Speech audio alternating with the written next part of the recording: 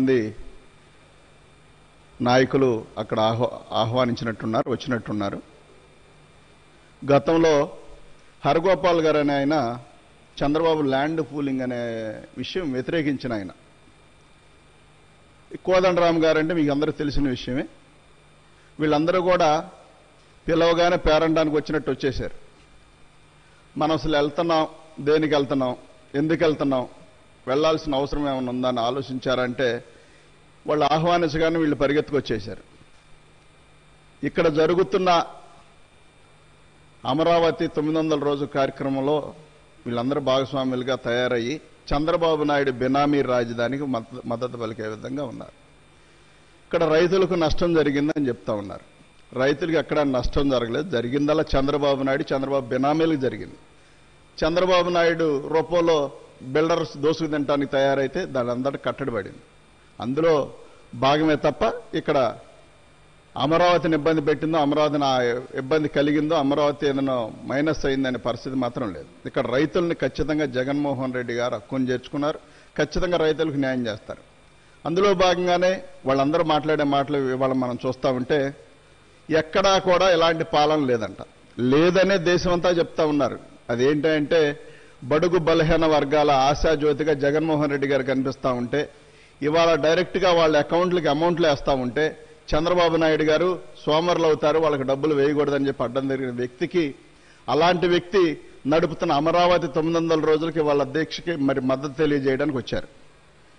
మా పిల్లలు English medium చదువుకుంటే ఇష్టపడిన చంద్రబాబు నాయుడు గారు జరిపే మరి అమరావతి కార్యక్రమాలకి వాళ్ళు వీళ్ళందరూ ఆహ్వానితులయ్యారు. అదేవిధంగా రాజధాని అమరావతి అనుకున్న చంద్రబాబు నాయుడు ప్రాంతంలో యాభై మూడు వేల ఇళ్ళ ప్లాట్లు ఇస్తానికి పేదలందరికీ కూడా ఎస్సీలకి బీసీలకి మైనార్టీలకి ఇవ్వడానికి ఇష్టపడితే జగన్మోహన్ రెడ్డి గారు ఇస్తా ఉంటే అక్కడ ఖచ్చితంగా మైనస్ అవుద్ది ఎస్సీలు బీసీలు ఉన్న దగ్గర మురికి కూపం కింద మారుద్దని చెప్పి వీళ్ళందరూ కోర్టులకు వెళ్ళిన పరిస్థితులు మనందరం చూసాం ఇవాళ అమరావతి ప్రాంతంలో ఎస్సీలకు కానీ బీసీలకు కానీ మైనార్టీలకు కానీ చంద్రబాబు నాయుడు గారి హయాంలో ఏం చేశాడు? ఏం డెవలప్ చేశాడు? చంద్రబాబు నాయుడు గారు రెండు వేల పదిహేనులోనే అమరావతి డిక్లేర్ చేశారు కదా? పట్టుమని నాలుగు బిల్డింగులు కట్టి వర్షానికి కారే ఒక అసెంబ్లీ కట్టి ఆయన ఇవాళ ప్రపంచ రాజధాని ఏదో కడతా ఉన్నాడని చెప్పి ఇంకా కూడా దాన్ని మభ్యపెట్టే విధంగా చూస్తా ఉన్న చేస్తున్న విధానం చూస్తా ఉంటే కాస్త సిగ్గనిపిస్తూ ఉంది. వీళ్ళందరికీ కూడా తెలుసు చంద్రబాబు నాయుడు ఎలాంటి బెనామీల రాజధాని అది అనేది. మీ అందరికి తెలియాలంటే ఆ రోజుల్లో అక్కడ జరిగిన అవమానాలు బాధలు ఇబ్బందులన్నీ కూడా మీకు తెలియాలంటే ఢిల్లీ మేధా పాట్కర్ గారి దగ్గరికి వెళ్ళాలి. హరిగోపాల్ గారు కానివ్వండి కోదండరామ్ గారు కానివ్వండి. ఆ రోజు నా విజిట్ చేశారు. ఇక్కడ చంద్రబాబు నాయుడు చేస్తున్న దుర్మార్గం అంతా కూడా మీడియాలకు ఎక్కువ మాట్లాడారు. కాబట్టి ఒకసారి అదంతా పరిశీలించండి. చంద్రబాబు నాయుడు ఎలాంటి రాజధాని ఇక్కడ చేశాడు ఎలాంటి రాజధాని చేయాలనుకున్నాడు? తన సామాజిక వర్గానికో తన పార్టీ నాయకులకో లాభపడే విధంగా ఇక్కడ అమరావతి ప్రాంతాన్ని డెవలప్ చేయాలనుకున్నాడు. ఇప్పుడు అమరావతిని మదిలి మర్చిపోయారని కానీ అభివృద్ధి చేయమని కానీ మేము ఎక్కడా చెప్పలా. చాలామంది అది ఫీల్ అవుతున్నారు. అన్ని ప్రాంతాలు బాగుండాలని కోరుకున్న దాంట్లో మేము ముందున్నాం. చంద్రబాబు నాయుడు గారికి ఏ హక్కులు అయితే ఉన్నాయో జగన్మోహన్ రెడ్డి గారికి కూడా ముఖ్యమంత్రి అయిన తర్వాత అవే హక్కులు వస్తాయి. కొత్తగా ఏమి ఆయన తక్కువ ఆయనకి ఎక్కువ అని ఉండదు. కాబట్టి ఆ రోజు చంద్రబాబు నాయుడు ఒకే చోట కేంద్రీకృత ఒకే చోట ఉండాలి అభివృద్ధి చెందాలి ఒకే ప్రాంతం అభివృద్ధి చెందాలని చెప్పి ఆయన కోరుకున్నారు. కానీ జగన్మోహన్ రెడ్డి గారు అభివృద్ధి అంతా కూడా రాష్ట్రం అంతా మరి వ్యాపించాలి రాష్ట్రం అంతా బాగుండాలని జగన్మోహన్ రెడ్డి గారు కోరుకుంటున్నారు. ఏది బెటర్ ఏది మరి మంచి ఆలోచన వీళ్ళందరూ గమనించాలి.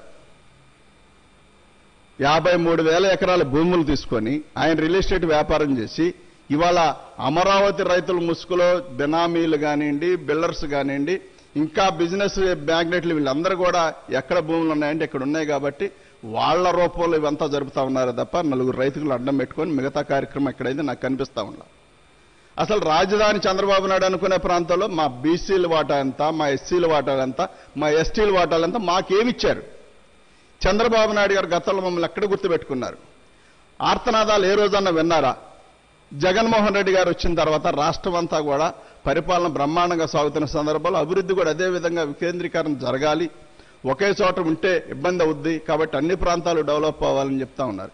ఇప్పుడున్న ఆర్థిక పరిస్థితిలో మనం ఖచ్చితంగా వైజాగ్ నుంచుకుంటే ఖర్చు లేని పని చెప్పి చెప్తా ఉన్న సందర్భాలు. అదేవిధంగా మూడు ప్రాంతాలు డెవలప్ చేస్తా ఉన్నాం. అమరావతిని వదిలేయటమో వదిలేసామని మేము అక్కడ చెప్పలా. కానీ వీళ్ళందరూ కూడా వాళ్ళు పిలవగానే పేరండానికి వచ్చేసినట్టుగా వాయనం తీసుకుని వెళ్ళిపోవడమే కదా అన్నట్టుగా వచ్చేసారు చాలా ఆశ్చర్యంగా కూడా అనిపిస్తూ ఉంది. ఎందుకంటే మనం ఎందుకు వెళ్ళాలి ఎందుకు వెళ్తున్నాం వాళ్ళు ఎందుకు పిలిచారు గతంలో ఏం జరిగింది ఇక్కడ చంద్రబాబు నాయుడు ఏం చేశాడు? అదేవిధంగా మరి వీళ్ళందరూ ఏనాడు కూడా సిపిఎం నాయకులు సిపిఐ నాయకులు పేదవాడికి అన్యాయం జరిగితే గతంలో ఎక్కడ చూసినా కానీ మరి పాపం వాళ్ళు నిలబడతారని చెప్పుకునేవాళ్ళు. ఇవాళ అలా లేదు. చంద్రబాబు నాయుడు గారు ఎక్కడ నష్టపోయిన చంద్రబాబు నాయుడు గారు ఎక్కడ ఇబ్బంది పడ్డా మేమందరం ఉండామనే విధంగా వీళ్ళందరూ తయారు ఏం చెప్పదలుచుకున్నారు ప్రజలకి? చంద్రబాబు నాయుడు గారు అనుకునే బెనామీల రాజధాని కోరుకుంటున్నారా? లేదు ప్రజలందరికీ ఆమోద్యకరంగా ఉండే ఏరియా మూడు చోట్ల మూడు ప్రాంతాలు అన్ని ప్రాంతాలు డెవలప్ అవ్వాలని మీరు కోరుకుంటున్నారా? రేపు ఏ విధంగా మిగతా ప్రాంతాలకు చంద్రబాబు నాయుడు గారు వెళ్ళి ఓటు అడుగుతారు? ఏ విధంగా వీళ్ళందరినీ డెవలప్ చేస్తామని చెప్పగలుగుతాడు? లేదు నేను అమరావతి ఒక చోట ఉంచుకుంటాను నేను ఇక్కడ మాత్రమే ఓట్లు అడుగుతాను ఇక్కడ మాత్రమే చూసుకుంటాను మిగతా ప్రాంతాలతో నాకు సంబంధం లేదని చెప్పదలుచుకున్నాడు చంద్రబాబు నాయుడు. ఇవన్నీ గమనించకుండా అక్కడి నుంచి వచ్చి ఇక్కడ టెంట్లో జరిగే తంతేందో తెలుసండి? రెండు వందల రోజులు మూడు వందల రోజులు నాలుగు వందల రోజులు ఆ నాలుగు వందల రోజు ఐదు వందల రోజు నలుగురిని కూర్చోబెట్టి దానికి ఒక ఫ్లెక్సీ కట్టి ఐదు వందల రోజులు వెయ్యి రోజులు తొమ్మిది వందల రోజులు అని చేస్తూ ఉంటారు. అమరావతి అని నిలబెట్టుకో వాళ్ళు ఎంతసేపటికి చేసే కుయుక్తులు ఏంటో తెలుసండి? ఇక్కడ వాళ్ళ ఆస్తులు నష్టపోకూడదు. మినిమం ఉన్న లాభాలు నష్టపోకూడదు. ఇంకెంతకంటే బెస్ట్గా కావాలి. ఇంతకంటే బెటర్గా కావాలి. పది రూపాయలు కాదు. ఒకటి ఒక రూపాయిది వంద రూపాయలు ఏకంగా ఒకేసారి పెరిగిపోవాలి. అని కుయుక్తగా పనిచేస్తూ ఉంటే దానికి పట్టుకొని కోదండరామ్ గారు హరిగోపాల్ గారు ఇక్కడికి వచ్చారు. నిజంగా చెప్తానండి మీరు ఒకసారి ఢిల్లీ మేధా పాట్కర్ గారిని కలవండి. కలిసి ఇదే చంద్రబాబు నాయుడు అనే పర్సన్ ఇక్కడ ఏం చేశాడు ఎలాంటి దుర్మార్గమైన ఆలోచన చేశాడు ఎలాంటి కుయుక్తులు పన్నాడు రాజధాని ప్రాంతంలో ఎస్సీలకు ఉన్న భూములు కానీ బీసీలకు ఉన్న భూములు కానీ అసైన్డ్ భూముల విషయంలో ఏం జరిపారు ఏ రాజధాని ఆయన కావాలని కోరుకుంటా ఉన్నారనేది ఆమె గారిని అడిగితే చెప్తా ఉంటారు. అక్కడి నుంచి వచ్చి వాళ్ళు వాణి వినిపించెళ్తే అప్పుడు ఇక్కడ అప్పుడు మరి కోదండరామ్ గారు కానివ్వండి హరగోపాల్ గారు కానీ ఎక్కడ పోయారో తెలియదు. ఇవాళ మాత్రం తొమ్మిది వందల రోజుకు మాత్రం దీక్షకు మద్దతు తెలుపుతానికని చెప్పి వచ్చి ప్రభుత్వ పైన విమర్శలు చేస్తా ఉన్నారు. జగన్మోహన్ రెడ్డి గారి పాలన అంట అద్భుతంగా లేకపోవడం వల్ల ప్రజలను ఇబ్బంది పడతా ఉన్నారు. ప్రజలు చెప్తారు కదా. ప్రజలు ఆలోచిస్తారు కదా జగన్ గారికి ఓట్లు వేయాలా లేదని చంద్రబాబు నాయుడికి వేయరు వేసే పరిస్థితి లేదు. ఓడిపోతారని మీరందరూ తలకాయలు మీరందరూ మీ అందరు తలకాయలు అంటించుకొని వచ్చిన చంద్రబాబు నాయుడు పిలిస్తే పిలవగానే మీరు వస్తే ప్రజలకు ఏ సమాధానం చెప్పాలనుకుంటున్నారు? కోదండరామ్ గారు కానివ్వండి హరగోపాల్ కానివ్వండి మిగతా ఎవరన్నా వచ్చిన వాళ్ళు ఎవరైనా సరే. అసలు ఇక్కడ ఏం జరిగింది? ఇక్కడేమైనా అన్యాయం జరుగుతా ఉందా? ప్రజలను ఎక్కడన్నా మర్చిపోయారా? అమరావతి రైతులకు ఏమైనా ఇబ్బంది కలిగింది? అది చూడండి. అంతేగాని ఇక్కడే డెవలప్ చేయాలి ఇక్కడే ఉండాలని చెప్పి మీరు బాగుండాలని కోరుకోవడం ధర్మమే కానీ ఏకంగా మొత్తం వంద రూపాయలు ఇచ్చినా కోటి రూపాయలు ఇచ్చినా మేమే తినాలి మేమే ఉండాలని చెప్పి చంద్రబాబు నాయుడు చెప్తున్న మాటలు మీరు కూడా చెప్పదలుచుకున్నారా? కాబట్టి ఇక్కడ ఎస్సీలు ఉన్నారు బీసీలు ఉన్నారు మైనార్టీలు ఉన్నారు. అత్యధిక జనం మేము ఉన్నాం. మా గురించి ఏ రోజు కూడా చంద్రబాబు నాయుడు మాట్లాడింది లేదు. ఏ రోజు కూడా ప్రస్తావించింది లేదు. ఏ రోజు కూడా మమ్మల్ని పిలిచి ఆహ్వానించింది కూడా లేదు. గతంలో మీరు మర్చిపోయారా? శంకుస్థాపనకు నరేంద్ర మోడీ గారు వస్తా ఉంటే నరేంద్ర మోడీ గారు వచ్చే శంకుస్థాపనకి దళితులందరికీ కూడా భారీ గేట్లు కట్టేసి ఎవరిని రానివ్వకుండా మా అందరిని బయట నుంచోబెట్టి ఆయన మాత్రం ఆయన సామాజిక వర్గానికి మాత్రం పట్టు వస్త్రాలు పెట్టి బొట్లు పెట్టి పిలిపించాడు. మమ్మల్ని మాత్రం కనీసం పలకరించిన వాళ్ళు లేరు. ఊళ్ళోకి వచ్చి సాయంత్రం అయ్యేసరికి డప్పేసే మనిషిగా డప్పేసి రేపొద్దున మీకు కిరసనాలు వస్తుందని ఒకప్పుడు చెప్పేవాళ్ళు. అలా మీరు రేపు మీరు భూములు పూలింగ్ ఇవ్వండి అని చెప్పి డప్పే చెప్పిచ్చారు తప్ప ఒక్కళ్ళు కూడా మిగతా వాళ్ళ భూములకి ఎట్లా తెలుసండి? పత్తిపాటి పుల్లారావు గారు కానీ నారాయణ గారు కానివ్వండి వీళ్ళందరూ కూడా ఎట్లా వెళ్ళారు తెలుసా? వాళ్ళందరికీ పట్టు వస్త్రాలు తీసుకెళ్ళి ఇంటికి వెళ్ళి బొట్టు పెట్టి మీ భూమి మాకు కావాలి మేము ఖచ్చితంగా మేము డెవలప్ చేస్తామని చెప్పి వీళ్ళని అడిగారు. ఇవ్వవన్న రైతులందరిని అడిగి ఎట్లా గట్ట మబ్బి పెట్టు భయపెట్టు ఇక ఏ రకంగా తీసుకున్నాడు నా కోదండరామ్ గారు అంటున్నాడు. ఇష్టపడిచ్చారో కష్టపడిచ్చారో కష్టపడి ఇచ్చారో తర్వాత సంగతులండి అంటున్నాడు. అంటే దానికి ఆయన ఆయనకు అర్థమైంది. ఇష్టపడి ఇవ్వలేదని. సరే ఏదో రకంగా ఇచ్చారు. ఇచ్చిన వ్యక్తులను ఎలా పిలిచారు? అసైన్డ్ రైతులు బీసీలు మైనార్టీలను ఎలా పిలిచారు? అసలు పిలిచారా? ఏమంత కడుపుమంట ఇవన్నీ మీకు గుర్తు రాలేదా? ఇవన్నీ చేసి చంద్రబాబు నాయుడు గారు భయమయ్య మరి ఆ రోజున ఎస్సీలను కానీ దళితులను బీసీలను కానీ మైనార్టీలను కానీ ఎవరిని ఆహ్వానించాలా నీ సామాజిక వర్గాన్ని? ఏక ఇంకో మాట చెప్పనండి. ఇవాళ తెనాలి శ్రావణ్ కుమార్ గారు ఆయన దళితుడును ఎస్సీ లీడర్ అని చెప్పుకుంటున్నారు కదా ఆ రోజుకి వేదిక మీదకి ఆయన ఆహ్వానించలే నరేంద్ర మోడీ గారు వస్తే. శిలాపలక మీద ఆయన పేరు లేదు. ఇప్పుడు కూడా వెళ్ళి చూడొచ్చు. తర్వాత మళ్ళీ పగలగొట్టేసి తీసేసి అర్జెంట్ ఎమర్జెన్సీ కింద ఇచ్చారు. రాజధానికి ఒక కమిటీ వేశారు. కమిటీలో ఎవరెవరో తెలుసండి? ఐదుగురు సభ్యులుంటే మురళీమోహన్ గారు పత్తిపాటి పుల్లారావు నారాయణ గారు. ఇలాంటి రియల్ ఎస్టేట్ అంతా చేసేవాళ్ళంతా కూడా వందల కోట్లు వేల కోట్లు ఉన్న ఆస్తి పనులు మాత్రమే. స్థానికంగా ఉన్న ఎమ్మెల్యే పేరు పెట్టల. స్థానికంగా ఉన్న ఎమ్మెల్యే పేరు అందులో లేదు ఆ లిస్టులో. అందరూ అడ్డం తిరిగి గొడవ గొడవ చేస్తే కనుక అప్పుడు ఆయన పేరెక్కిచ్చారు. పోనీ పేరెక్కిచ్చిన తర్వాత ఆయనకన్నా ప్రయారిటీ ఇచ్చారంటే అది లేదు. కాబట్టి చంద్రబాబు నాయుడు అనే వ్యక్తి ఆయన బెనామీల రాజధాని కోసం కొంతమంది రైతులను ఐదుగురిని పదిగురు పది మంది రైతులను ఎదురుపెట్టుకొని ఆడుతున్న గేమ్ తప్ప మరొకటి కాదు. ఇక్కడ అమరావతిని ఎవరు ఇబ్బంది పెట్టలేదు. అమరావతిని డెవలప్ చేస్తాం. అదేవిధంగా మూడు ప్రాంతాలు డెవలప్ డెవలప్ అవుతాయి రాష్ట్రం అంతా బాగుంటుంది. ఇది గమనించాలని చెప్పి హరగోపాల్ గారికి అదేవిధంగా కోదండరామ్ గారికి వాళ్ళతో పాటు వచ్చిన సహచరులందరికీ కూడా.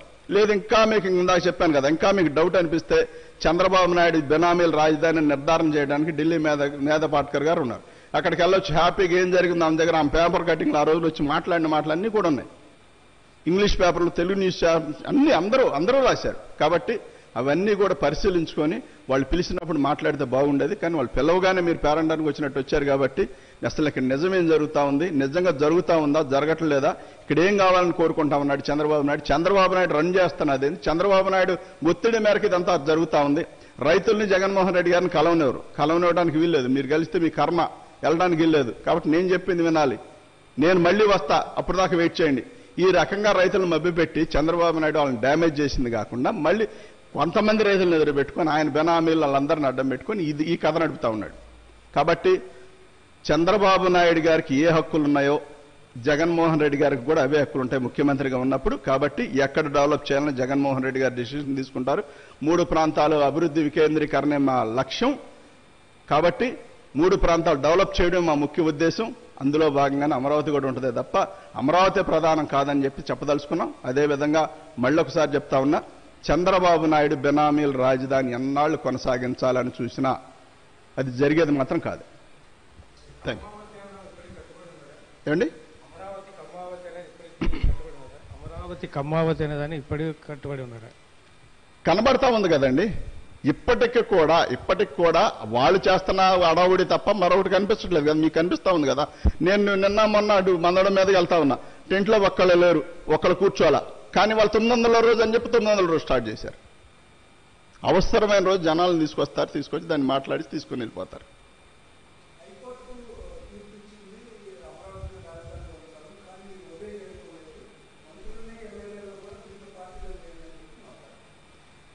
ఒక మాట అండి హైకోర్టు చెప్పింది జగన్మోహన్ రెడ్డి గారి డిసిషన్ తీసుకున్నది వేరు వేరేం కాదండి. అమరావతి డెవలప్మెంట్ దాంట్లో అమరావతి డెవలప్ చేయండి అని చెప్పి హైకోర్టు చెప్పింది. ఆ డెవలప్ చేస్తామని జగన్మోహన్ రెడ్డి గారు కూడా చెప్తా ఉన్నారు. అంతే తప్ప దీన్ని ఎక్కడో మర్చిపోయారనో హైకోర్టు విమర్శలేం చేయలేదండి. ఎక్కడ మర్చిపోలేదండి. ఎవరిని మర్చిపోయే ఉద్దేశం కూడా లేదని చెప్తా ఉన్నాం. మూడు ప్రాంతాలు డెవలప్ చేసే దాంట్లో అమరావతిని డెవలప్ చేస్తామని మేము చెప్తా ఉన్నాం. హైకోర్టు కూడా అమరావతిని కూడా డెవలప్ చేయండి అనే చెప్పింది. ఈరోజు ఆ సమావేశానికి వచ్చినటువంటి retired judge Gowda supreme court retired judge. ఆయన తర్వాత ఇంకొక ఒక అడ్వకేట్ కూడా హైకోర్టు సుప్రీంకోర్టు హైకోర్టు అడ్వకేట్. వాళ్ళిద్దరు కూడాను ఇంతవరకు ఎందుకు కౌంటర్ అంటే ఇప్పుడు సుప్రీంకోర్టు ఇచ్చిన జడ్జిమెంట్ మీద హైకోర్టు ఇచ్చిన జడ్జిమెంట్ మీద ఎందుకు సుప్రీంకోర్టుకు వెళ్ళలేదని క్వశ్చన్ చేస్తున్నారు. అంతేకాకుండా ఇందాక సహోదరుడు అడిగిన చెప్పినట్లు మంత్రులను ఎమ్మెల్యేలు వీళ్ళు కూడా పార్టీలో ప్రభుత్వంలో పార్ట్నర్గా పార్ట్ కాబట్టి వీళ్ళ మీద కూడా చీఫ్ చీఫ్ సెక్రటరీ మీద కాకుండా వీళ్ళ మీద కూడా కేసులు పెట్టి వీళ్ళ మీద కూడా జైలుకు పంపాలా అని చెప్పేసి కామెంట్స్ చేస్తారు. దీన్ని చూస్తారు. ఒక మాట చెప్తానండి. చంద్రబాబు నాయుడు గారు ఏం మాట్లాడిచ్చారో మీకు ఇది అంతటికి అర్థమై ఉంటుంది. ఇదంతా చంద్రబాబు నాయుడు గారి డైరెక్షను. కాబట్టి ఇందులో ఆయన చంద్రబాబు నాయుడు గారికి నచ్చకపోతే ఎవరినైనా పార్టీల కింద చేర్చమని చెప్తాడు. అందులో భాగంగానే వీళ్ళందరూ చెప్తా ఉన్నారు తప్ప అది చంద్రబాబు నాయుడు గారి డెసిషన్ చంద్రబాబు నాయుడు గారు వాయిస్ బయటకు వినిపించారు. కాబట్టి చంద్రబాబు నాయుడు గారు అనే ఒక వ్యక్తి ఉంటే ఒక శక్తి అనుకుంటాడు ఆయన. కానీ మిగతా వాళ్ళు ఎవరు పాలించినా ఎవరు ఏ ముఖ్యమంత్రి పదవిలో ఉన్నా మినిస్టర్ పదవిలో ఉన్నా ఆయన కనిపించరు. అలా మైనస్గా కనిపిస్తా ఉన్నారు. కాబట్టి ఏంటంటే ఉన్న ఫలంగా జగన్మోహన్ రెడ్డి గారు మామూలుగా జగన్మోహన్ రెడ్డి గారు ప్రభుత్వం ఆపేసి చంద్రబాబు నాయుడు గారిని పిలిచి నువ్వు ఎక్కి పాలించాయా స్వామి? నువ్వే బ్రహ్మాండం అని చెప్పే వరకు ఈ ఉద్యమం చేయాలని చూస్తూ ఉన్నాడు. కాబట్టి చంద్రబాబు నాయుడు చెప్పుకున్నది ఏది జరగదండి. చంద్ర